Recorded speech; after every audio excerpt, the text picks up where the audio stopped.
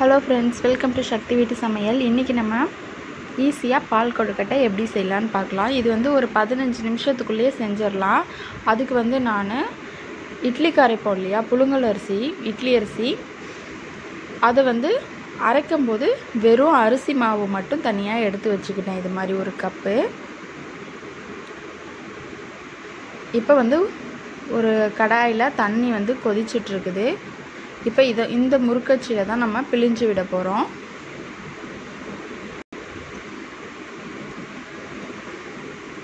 மாவு வந்து பார்த்திங்கன்னா கொஞ்சம் தண்ணியாக இருந்துச்சுன்னா நீங்கள் வேறு ஒரு கடாயில் மாவில் கொஞ்சமாக நெய்யோ இல்லை நல்லெண்ணெய்யோ சேர்த்து நீங்கள் நல்லா வதக்கிக்கிட்டிங்கன்னா மாவு நல்லா இந்த அளவுக்கு கட்டியாயிடும். நம்ம அரைக்கும் போதே நல்லா கட்டியாக எடுத்து வச்சுக்கிட்டா நம்ம வதக்க வேண்டிய அவசியம் இல்லை. இல்லை கொஞ்சம் தண்ணியாக இருந்தாலும் நம்ம கொஞ்சம் நேரம் ஃப்ரிட்ஜில் ஒரு ஒரு ஒன் ஹவர் ஃப்ரிட்ஜில் வச்சிங்கனாலும் மாவு நல்லா கட்டியாயிடும். நமக்கு பிழியறதுக்கு ரொம்ப ஈஸியாக இருக்கும். தண்ணி வந்து நல்லா கொதிச்சதுக்கப்புறமா தான் நம்ம இதை பிழிஞ்சு விடணும். கொதிக்கிறதுக்கு முன்னாடியே பிழிஞ்சு விட்டோன்னா எல்லாமே கரைஞ்சிரும் மாவாயிடும்.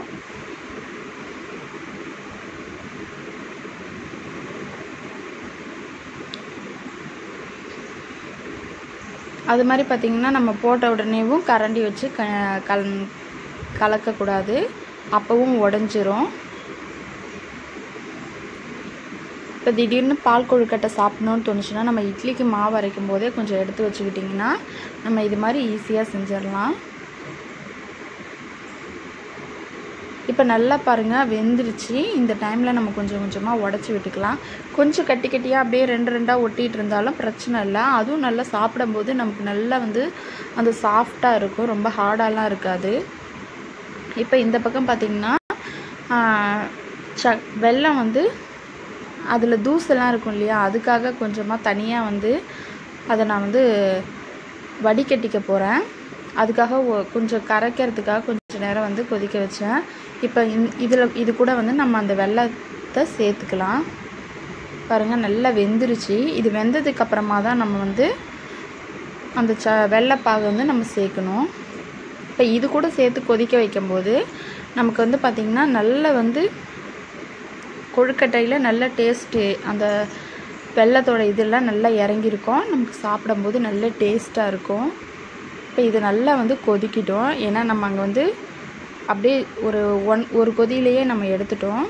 இப்போ வந்து இது நல்லா கொதித்து கொஞ்சம் லைட்டாக சுண்டி வரட்டும். இப்போ பார்த்திங்கன்னா நல்லா கொதிச்சிடுச்சு. இந்த டைமில் ஒரு ரெண்டு ஏலக்காய் அதில் தட்டி போட்டிருக்கிறேன். அப்புறம் ஒரு மூடி வந்து பார்த்திங்கன்னா தேங்காய் துருவி வச்சுருக்கேன். அதையும் இது கூட சேர்த்துக்கலாம்.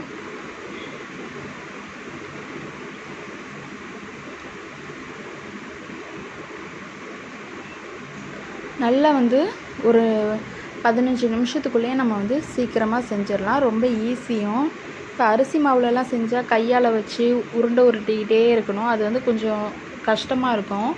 அதுக்காகவே சில பேர் பண்ண மாட்டாங்க அடிக்கடியெல்லாம். இது மாதிரி நம்ம பண்ணோன்னா நம்ம எப்போல்லாம் வந்து இட்லிக்கு மாவு அரைக்கும் போது அப்பப்போ ஒரு டைம் எடுத்து வச்சா இது மாதிரி செஞ்சு சாப்பிட்லாம். பசங்களுக்கும் கொடுக்கலாம். குழந்தைங்களும் ரொம்ப விரும்பி சாப்பிடுவாங்க. இப்போ வந்து இதை வேறு ஒரு பவுலுக்கு மாற்றிக்கலாம்